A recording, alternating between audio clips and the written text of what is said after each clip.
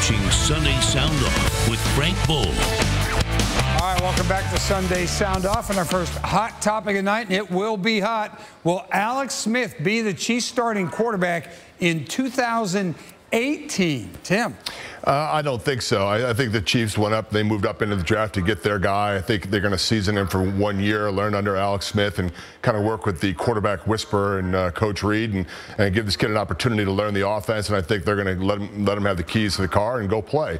Uh, although you know, it's all going to come down to whether this kid can can pick it up uh, whether he can, uh, uh, you know, do the kind of things in practice and then maybe in the preseason. And, and, you know, you never know if somebody, you know, Alex Smith gets hurt, he's had the concussion problems in the regular season, and they can see that he could play, then I think they'd be happy to put him in there as a starter in 2018. You got to remember, this kid, he's been around. His father was a professional athlete. He's been, in, he's been in, he's been in the locker rooms. He's been in the clubhouses. It's not going to be too big for him. I think it's going to take one year for this young man to learn this offense, learn the NFL. He's got a gunslinger attitude. Uh, but you know, you, you got to learn the offense first. What do you think, Blair? Yeah, I think, and Tim's right. I think he's eager to learn. Just, just uh, getting to meet him and the family over over the weekend, he's said all the right things and uh, came across really well.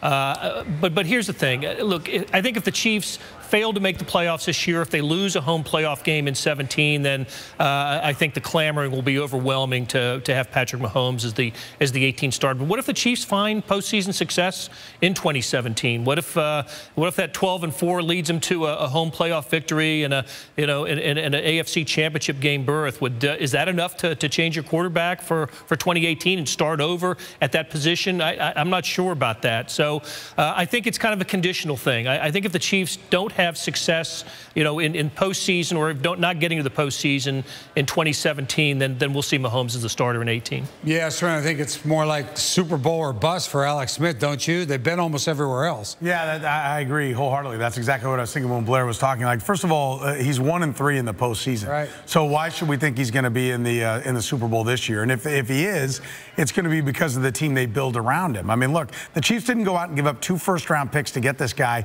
because they think the guy they've got is nails. Okay, they went out and got this guy because this guy does Mahomes does the things that Alex Smith can't. He can go down the field. Know, the way you worded the question, will Alex Smith be the Chiefs starting quarterback in 18? I hope so, and more importantly, the Chiefs hope so. They took this kid so he can make the throws down the field that Alex Smith either can't or won't make. They took this kid to make the throws in the end zone that Alex Smith either can't or won't throw.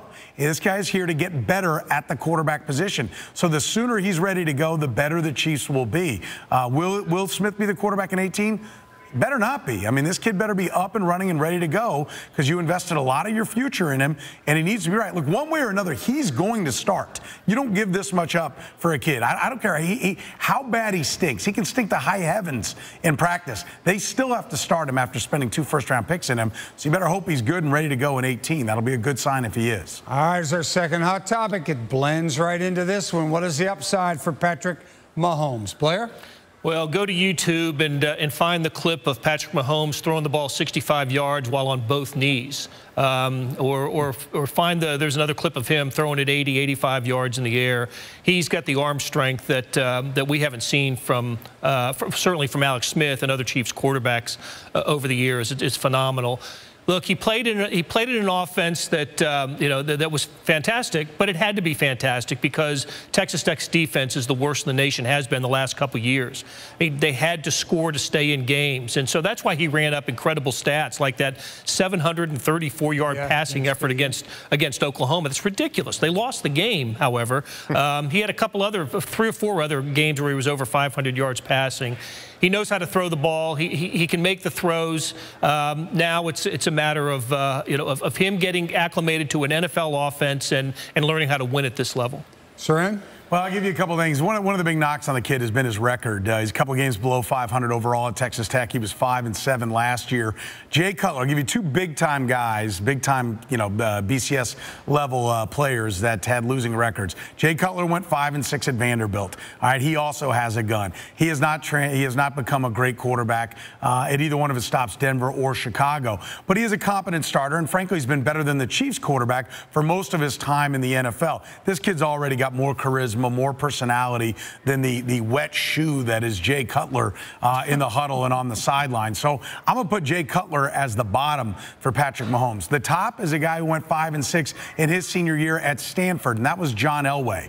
All right, so there's a couple of guys that were losers in their college career, but went on to be good and then Hall of Fame great, maybe the best quarterback that ever lived in John Elway. If he's somewhere between Jay Cutler and John Elway, the Chiefs will be really pleased with this pick. And I think that's his window of success. Now, look, he is boomer bust. He does make mistakes. And I love that video. I've seen the one Blair's talking about. I've also seen one where Kyle Boller throws the ball 50 yards and through the uprights while on one knee at the 50 yard line. So I guess that's 60 yards and through the uprights. And he stunk for the Ravens. So big arms don't mean you're going to be a stud automatically, but it's a great place to start. And with Andy Reid as his coach, you got to like his chances. Tim? Yeah, I think uh, Soren's exactly right when you talk about if he's somewhere in the middle of those two quarterbacks, you know, that that's where he, that'd be a great place for him to be. You know, the one thing I like about this kid is, yeah, everybody talks about the gunslinger, but I, I think what he fits most in the in the Kansas City Chiefs offense is that he's a he's not a runner first. He, he's a guy that he's gonna he's gonna extend plays. It's, it's, great to watch him because his eyes are up down the field all the time.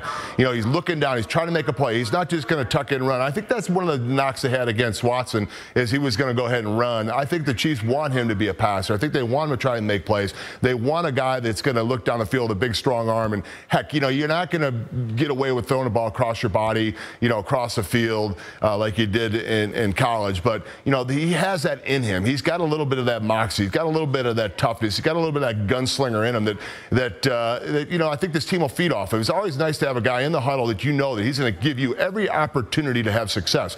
And you know they, they have a nice offensive line that's growing together. They have a, a nice tight end. They got a, some good receivers. They got some speed. They got some athleticism. Now these guys are going to be running around and just like uh, the coach used to say for the Chiefs all the time is Al Saunders would say, "Hey, stay friendly." Wide receiver, stay friendly because you never know when the ball is going to come to you, and that's going to be the, the, the call for the Chiefs wide receivers in the next couple of years. All right, guys, 30 seconds each. Our final hot topic. If you're a Royals GM, Dayton Moore, do you explore trades now or wait it out? Soren. Is it April 30th, 2017, or is it July 30th, 2016? Because that's when the answer to this question was absolutely yes. Uh, when they were falling out of the race last year, they should have been looking to move Edinson Volquez and Kendrys Morales and getting pieces for the future. They could have taped it together this past offseason and gone for it from there, but they watched those guys walk and get nothing. The problem is now here we sit in a season that they put everything together. They went for it last year, and they've got to basically go for it this year. Uh, I'd like to say yes, start shipping shipping them off, but they have no choice but to wait. Reality is, I don't think there's any trade they could make right now, so they're going to have to sit tight, hope this thing turns around, and if it doesn't, make the moves in July. Tim? Yeah, I think you got to hope that this thing turns around. Listen, every team has a bad month. Even Chicago Cubs in July were, were 12 and 14 last year, and they had a ton of wins and, and won the World Series. So, yeah, uh, teams have bad months, but this is, you know, it's the beginning of the season. It's April. It's the first month. You know, nobody wants to have a bad month the first month. But, you know, I, I think you, you wait to about 60 games in, and if it's not any better, then you go and start shipping guys off. Yeah. Blair, they've got, they are the worst team in Major League Baseball right now. Worst, worst record in baseball. Thank goodness goodness, the, they've turned the page on the calendar. It's May now, and, um, and, and, we'll hope that's better. But how about losing uh, all these games to the Twins and the White Sox, two two organizations that they've owned during this their, their championship year run, and can't win on the road, can't beat division teams. They own Central teams, uh, you know, in, in, in 13, 14, 15, and, and now they can't win a game against a Central. These trends are so disturbing, but there is nothing it can be done about it right now. You got to wait it out and hope that May has been better. It will be better than April was. Yeah, right. In fact, they've lost more games to the Twins than they did all of last season. They have not won a game in the American League Central, which is scary. Awesome. Up next.